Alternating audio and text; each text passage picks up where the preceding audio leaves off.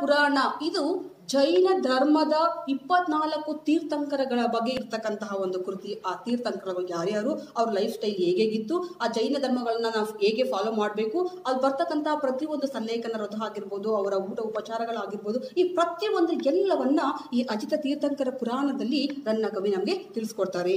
ಈ ಎಲ್ಲ ಕೃತಿಗಳು ನಮ್ಮ ಕನ್ನಡ ಲಿಟ್ರೇಚರ್ಗೆ ಕನ್ನಡ ಸಾಹಿತ್ಯಕ್ಕೆ ಒಂದು ಗ್ರೇಟ್ ಕೊಡುಗೆ ಅಂತ ಇಲ್ಲಿ ಹೇಳ್ತಾ ಇದ್ದಾರೆ he has made a valuable contribution to Karnataka ಸರಿ ಕನ್ನಡ ಲಿಟ್ರೇಚರ್ ಹತ್ತಿ ಮಬ್ಬೆಯು ತಾಯಿಯಾಗುವ ವಿಚಾರ ತಿಳಿದು ಮನೆಯವರಿಗೆಲ್ಲ ಸಂತಸವಾಯಿತು. ಆಫ್ಟರ್ ಮ್ಯಾರೇಜ್ ಏನಾಗಿತ್ತು? ಕೆಲವು ದಿನಗಳು ಕಳೆದ ಬಳಿಕ ಆಕೆ ಮದರ್ ಹಾಕ್ತಾ ಇದ್ರು ಅನ್ನೋ ವಿಚಾರ ತಿಳಿದು ಮನೆಯವರೆಲ್ಲರೂ ಕೂಡ ತುಂಬಾ ಹ್ಯಾಪಿ ಇಲ್ಲಿದ್ರು ಖುಷಿಯಲ್ಲಿದ್ರು. ಒಂದು ಸಾವಿರ ಜಿನಾಲಯಗಳನ್ನು ಕಟ್ಟಿಸಬೇಕು, ಒಂದು ಸಾವಿರ ಬಂಗಾರದ ಜಿನಬಿಂಬಗಳನ್ನು ದಾನ ಮಾಡಬೇಕು. ಒಂದು ಸಾವಿರ ಜಿನಾಲಯಗಳನ್ನ ಕಟ್ಟಿಸಬೇಕು. ಆಕೆ ಮಗುವಿನ ತಾಯಿ ಆಗುವಾಗ ಆಕೆಗಿದ್ದಂತ ಒಂದು ಡಿಸೈರ್ ಆಸೆ ಏನಪ್ಪ ಅಂತಂದ್ರೆ ಒಂದು ಸಾವಿರ ಜಿನಾಲಯಗಳನ್ನ ಕಟ್ಟಿಸ್ಬೇಕು ಅದು ತೌಸಂಡ್ ಜಿನ ಜಿನಾಲಯನ ಟೆಂಪಲ್ ತರ ಕಟ್ಟಿಸ್ಬೇಕು ಕನ್ಸ್ಟ್ರಕ್ಟ್ ಮಾಡಿಸ್ಬೇಕು ಅನ್ನೋದು ಆಕೆ ಆಸೆ ಆಗಿತ್ತು. ಒಂದು ಸಾವಿರ ಬಂಗಾರದ ಜಿನಬಿಂಬಗಳನ್ನು ದಾನ ಮಾಡಬೇಕು. ನೋಡಿ, ಆಕೆ ಏನೆಲ್ಲ ಆಸೆಗಳನ್ನ ಇಟ್ಕೊಂಡಿದ್ಲಪ್ಪ ಆ ಟೈಮಲ್ಲಿ ಅಂದ್ರೆ ಸಾವಿರ ಜಿನ ಜಿನಾಲಯಗಳನ್ನ ಕಟ್ಟಿಸೋ ಜೊತೆಗೆ thousand golden statue Tirthankara statue ಅನ್ನ ಅದು ಗೋಲ್ಡನ್ ಗೋಲ್ಡ್ ಅಲ್ಲಿ ಕೊಡ್ಬೇಕು ಅನ್ನೋದು ಆಕೆ ಆಸೆ ಆಗಿತ್ತು. ಒಂದು ಸಾವಿರ ಮುನಿಗಳಿಗೆ ಆಹಾರ ನೀಡಬೇಕು. ಅಂದ್ರೆ ತೌಸಂಡ್ ಸೈನ್ ಪೀಪಲ್ನ ಕರೆದು ಬಿಟ್ಟು ಏನ್ ಮಾಡ್ಬೇಕು? ಅವ್ರಿಗೆಲ್ಲರೂ ಒಳ್ಳೆ ಫುಡ್ ಅನ್ನ ಕೊಡ್ಬೇಕು. ಎಂಬುದೇ ಆಕೆಯ ಮಹಾಬಯಕೆ ಆಗಿತ್ತು. ಆಕೆ ಏನು ಆ ಎಲ್ಲವನ್ನ ಗ್ರೇಟ್ ಡಿಸೈರ್ ಮಹಾಬಯಕೆ ಮೀನ್ಸ್ ಗ್ರೇಟ್ ಡಿಸೈರ್ ಆಕೆ ಸಾವಿರ ಜಿನಬಿಂಬಗಳನ್ನ ದಾನ ಮಾಡ್ಬೇಕಂದ್ರೆ ಡೊನೇಟ್ ಮಾಡಬೇಕು. ಜೊತೆಗೆ ಸೈನ್ ಪೀಪಲ್ ತೌಸಂಡ್ ಸೈನ್ ಪೀಪಲ್ಗೆ ಏನು ಮಾಡಬೇಕು? ಫುಡ್ ಅನ್ನ ಡೊನೇಟ್ ಮಾಡಬೇಕು. ಜೊತೆಗೆ ಜಿನಾಲಯಗಳನ್ನ, ಏನ್ ತೀರ್ಥಂಕರ ಜಿನ ಟೆಂಪಲ್ಸ್ಗಳಿದ್ದಾವೋ ಆ ಸಾವಿರ ಜಿನಾಲಯಗಳನ್ನ ಆಕೆ ಕಟ್ಟಿಸ್ಬೇಕು ಅನ್ನೋದು ಆಕೆಯ ಆಸೆ ಆಗಿತ್ತು ಗ್ರೇಟ್ ಡಿಸೈರ್ ಆಗಿತ್ತು. ಹತ್ತಿ ಮಬ್ಬೆಯು ಗಂಡು ಮಗುವಿನ ತಾಯಿಯಾದಳು, ಮಗನಿ, ಮಗುವಿಗೆ ಅಣ್ಣಿಗ ದೇವ ಎಂದು ನಾಮಕರಣ ಮಾಡಿದಳು. ಹತ್ತಿ ಮೊಬೆ ಹತ್ತಿ ಮಬ್ಬೆ ಏನಾಗುತ್ತೆ? ಅವಳಿಗೆ ಗಂಡು ಮಗು, ಒಂದು ಬಾಯ್ ಮಗು ಬಾರ್ನ್ ಆಗುತ್ತೆ. ಸೊ ಆ ಮಗುವಿಗೆ ನಾಮಕರಣ ಮಾಡ್ತಾರೆ, ಏನಂತ ನೇಮಿಂಗ್ ಸನ್ಮಾನಿ ಮಾಡ್ತಾರೆ. ಆ ಮಗುವಿಗೆ ಏನ್ ನೇಮ್ ಇಡ್ತಾರಪ್ಪ ಅಂದ್ರೆ ಅಣ್ಣಿಗ ದೇವ ಅಂತಕ್ಕಂಥ ನೇಮನ್ನ ಇಡ್ತಾರೆ. ಹತ್ತಿ ಮಬ್ಬೆಯು ಕೆಲವು ವೇಳೆ ನಾಗದೇವನೊಂದಿಗೆ ತಾನು ಯುದ್ಧಕ್ಕೆ ಹೋಗುತ್ತಿದ್ದಳು. ಸಾರಥಿಯಾಗಿ ರಥ ನಡೆಸುತ್ತಿದ್ದಳು. ಕತ್ತಿ ಹಿಡಿದು ವೀರಾವೇಶದಿಂದ ಹೋರಾಡುತ್ತಿದ್ದಳು. ಇವಳ ಶೌರ್ಯ ಸಾಹಸಗಳನ್ನು ಕಂಡು ಈಕೆ ದಾನಶೂರೆ ದಯಾಶೀಲೆ, ಧರ್ಮಿಷ್ಠೆ ಮಾತ್ರವಲ್ಲ, ರಣಧೀರೆ ಎಂದು ಜನರು ಕೊಂಡಾಡುತ್ತಿದ್ದರು.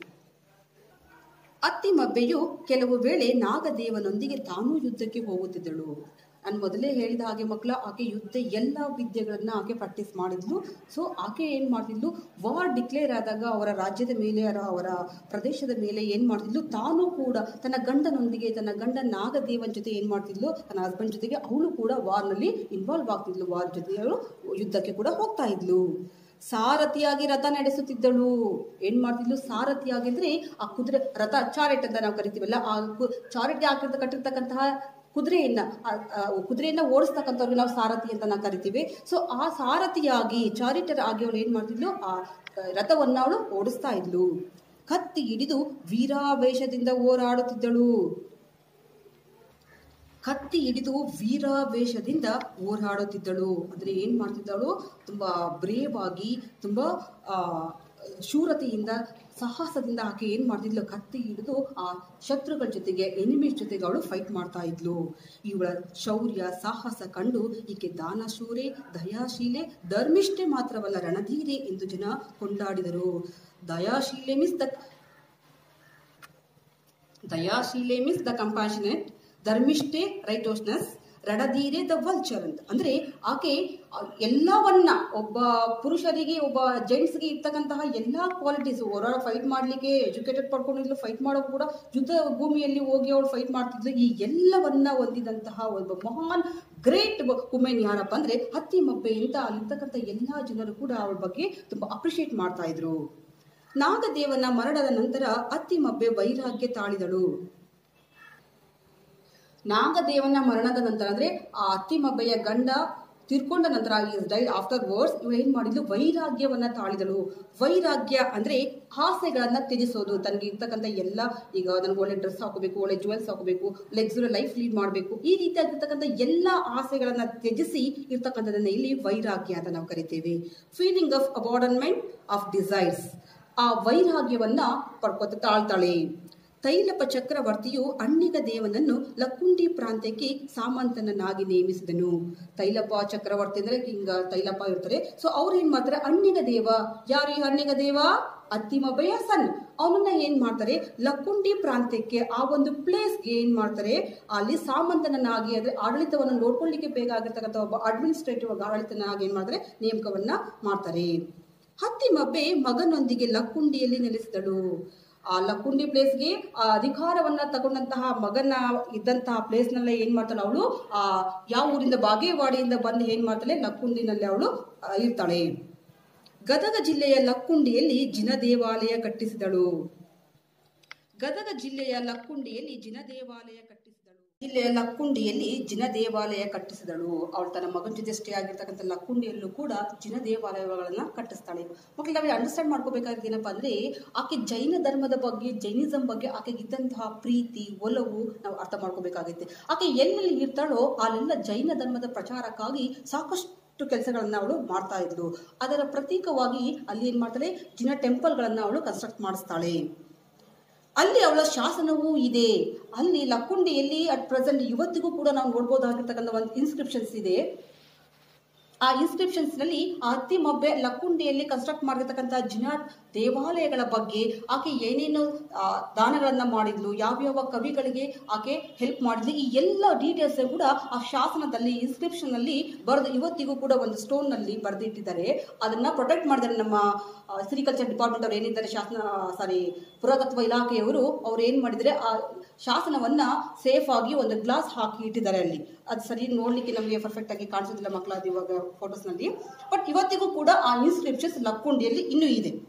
ನೋಡಿ ಟೆಂತ್ ಸೆಂಚುರಿಯಲ್ಲಿ ಇದ್ದಂತಹ ಒಂದು ಇನ್ಸ್ಕ್ರಿಪ್ಷನ್ ನಾವು ಇವತ್ತಿಗೂ ಕೂಡ ನೋಡಬಹುದಾಗಿದೆ ಲಕ್ಕುಂಡಿಯ ಒಂದು ಜಿನ ಟೆಂಪಲ್ನಲ್ಲಿ. ತಾನು ಕಟ್ಟಿಸಿದ ಜಿನಾಲಯಗಳಿಗೆ ದತ್ತಿಗಳನ್ನು ನೀಡಿದಳು. ಇಲ್ಲಿ ತಾನು ಕನ್ಸ್ಟ್ರಕ್ಟ್ ಮಾಡಿದಂತಹ ಟೆಂಪಲ್ಗಳಿಗೆ ಏನ್ ಮಾಡಿದ್ಲು ದತ್ತಿಗಳನ್ನ ನೀಡೋದು. ಇಲ್ಲಿ ದತ್ತಿಗಳನ್ನ ನೀಡೋದು ಅಂತಂದ್ರೆ ದಾನವಾಗಿ ಹಣವನ್ನ ಕೊಡೋದು ಅಥವಾ ಭೂಮಿಯನ್ನ ಕೊಡ್ತಕ್ಕಂತಹ ಭೂಮಿ ಕೊಡೋದು, ಹಣವನ್ನ ಕೊಡೋದು, ಬೇಕಾದಂತಹ ಸಹಾಯವನ್ನ ಮಾಡೋದು. ಆ ಟೆಂಪಲ್ ಆಗಿರ್ಬೋದು ಅಥವಾ ಸ್ಕೂಲ್ಸ್ ಅಂದ್ರೆ ಗುರುಕುಲ ಆಗಿರ್ಬೋದು, ಆ ಡೆವಲಪ್ಮೆಂಟ್ಸ್ ಗಳಿಗೆ ಬೇಕಾದಂತಹ ಹೆಲ್ಪ್ ಅನ್ನ ಮಾಡುವಂತದನ್ನ ನಾವು ದತ್ತಿ ಅಂತ ನಾವು ಕರಿತೀವಿ.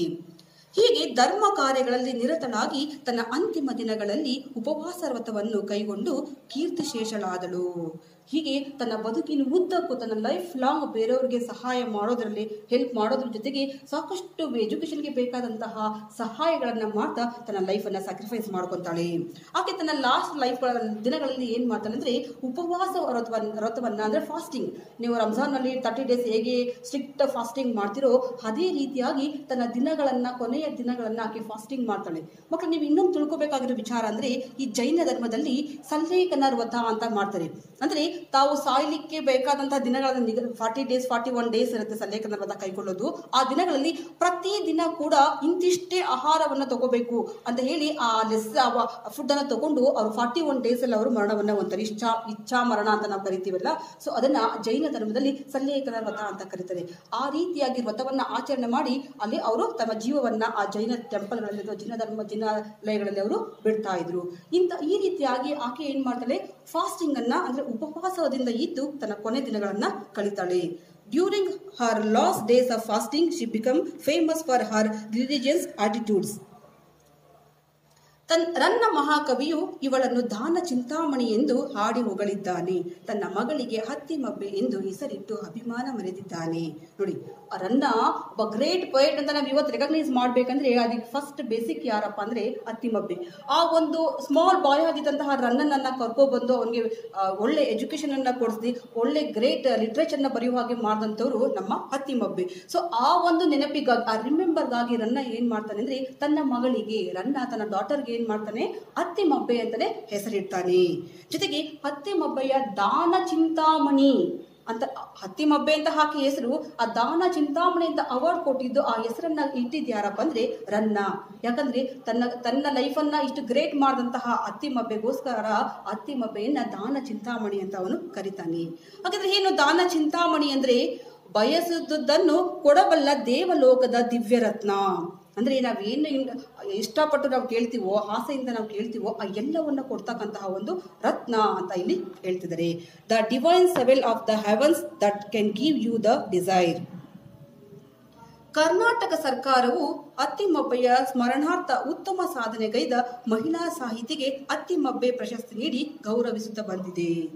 ಇವತ್ತಿಗೂ ಕೂಡ ನಮ್ಮ ಕರ್ನಾಟಕ ಗವರ್ನಮೆಂಟ್ ಏನಿದೆ ಪ್ರೆಸೆಂಟ್ ಕೂಡ ಇಯರ್ಲಿ ಒನ್ ಟೈಮ್ ಏನು ಮಾಡ್ತಾರೆ, ನಮ್ಮ ಅತ್ತಿಮಬ್ಬೆಯ ಸ್ಮರಣಾರ್ಥವಾಗಿ ಆಕೆ ಮೆಮೋರಿಗಾಗಿ ಏನು ಮಾಡ್ತಾರೆ ನೆನಪು ಮಾಡ್ಕೊಳ್ಳೋದಕ್ಕೋಸ್ಕರ ಏನು ಮಾಡ್ತಾರೆ ಲಿಟ್ರೇಚರ್ನಲ್ಲಿ ಗ್ರೇಟ್ ಆಗಿ ಸಾಹಿತ್ಯವನ್ನು ಬರೆದಂತಹ, ಹೆಚ್ಚು ಒಳ್ಳೆ ಸಾಹಿತ್ಯವನ್ನು ನೀಡಿದಂತಹ ಮಹಿಳೆಯರಿಗೆ ವುಮೆನ್ಸ್ಗೆ ಏನು ಮಾಡ್ತಿದ್ದಾರೆ ಅತ್ತಿಮಬ್ಬೆ ಪ್ರಶಸ್ತಿಯನ್ನ ಅವಾರ್ಡನ್ನು ಇವತ್ತಿಗೂ ಕೊಡ್ತಾ ಇದ್ದಾರೆ. ದಾನಶೂರೆಯ ದಿವ್ಯ ದರ್ಶ ಅನುಪಮ ಅನನ್ಯ.